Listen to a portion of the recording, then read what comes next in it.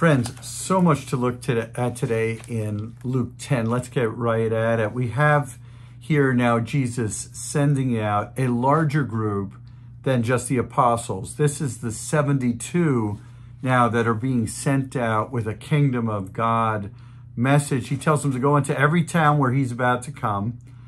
And he says this, he says, the harvest, he's talking about of souls, the harvest is plentiful, but the laborers are few. So they're supposed to be laborers in the harvest, and they're also supposed to pray for more laborers. And we need to think about ourselves as the answer to that prayer in our day and age, that we're laborers for the harvest in his church.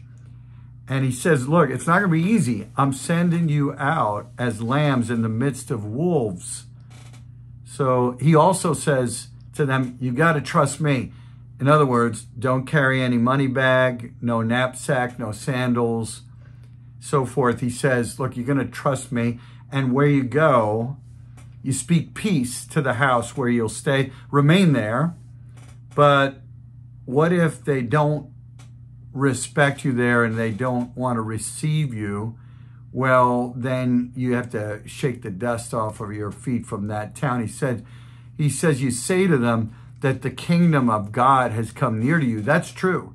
See, wherever the church goes, if it brings a message of the gospel with integrity, the kingdom of God is near. And Jesus has sent us to that place. Now, he speaks these words of judgment against some of the cities where miracles have been performed. He says, woe to you. Look, if, if he had done in some Gentile cities what he's done in your city, they would have repented long ago in sackcloth and ashes. So what this is telling us is that when the gospel is preached, the appropriate response of those who hear, wherever they are in any time, the appropriate response is to repent, to turn away from sin and surrender to the King of the kingdom, the Lord Jesus Christ. And so they do they go out and they do what he tells them had told them to do, these 72, and then they returned. And they were rejoicing because they said, Lord, even the demons are subject to us in your name. They were, they were just amazed. And, and he says, I saw Satan fall like lightning from heaven. You know, something happened in the heavenlies as a result of this.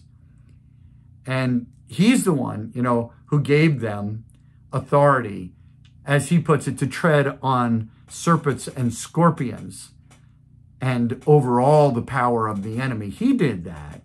But he said, look, don't rejoice in that, but rejoice that your names are written in heaven. That's the way for all of us. And I'm just happy to be a part of this kingdom. And the fact that you actually use me as an agent of your good news, uh, all the better. But thankful just to be a part of your kingdom. And, and so Christ says this, he rejoices that these these simple men have been used really in preference to the powerful and the educated. He said, You've hidden, he's praying to God. He says, You've hidden these things from the wise and understanding and revealed them to little children. The little children, his own disciples.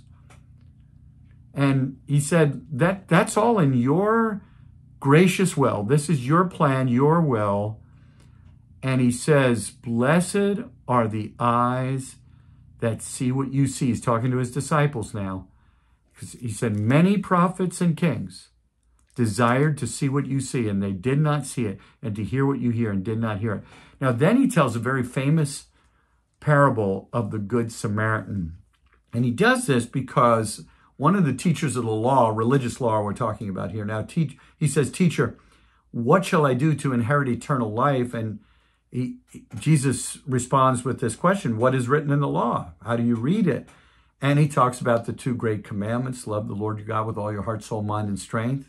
Love your neighbor as yourself. He said, you've answered correctly. Do this and you will live. And But it says the man was desiring to justify himself and he said, who is my neighbor? Now, you know the story.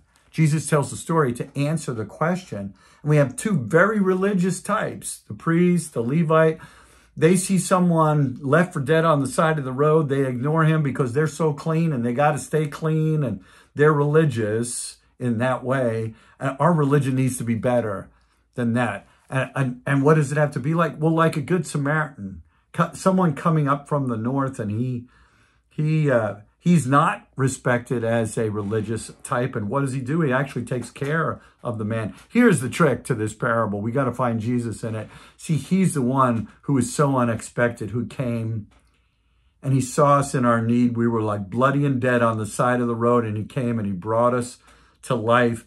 And all he asks of us is complete surrender, repentance. Like Mary of Mary and Martha, she knows the better portion. She throws herself down at the feet of the one who is the answer for us. Thank you, Father, for the Good Samaritan, truly the Savior of our souls, the the God of our salvation. We pray in Jesus' name. Amen. Blessings, friends.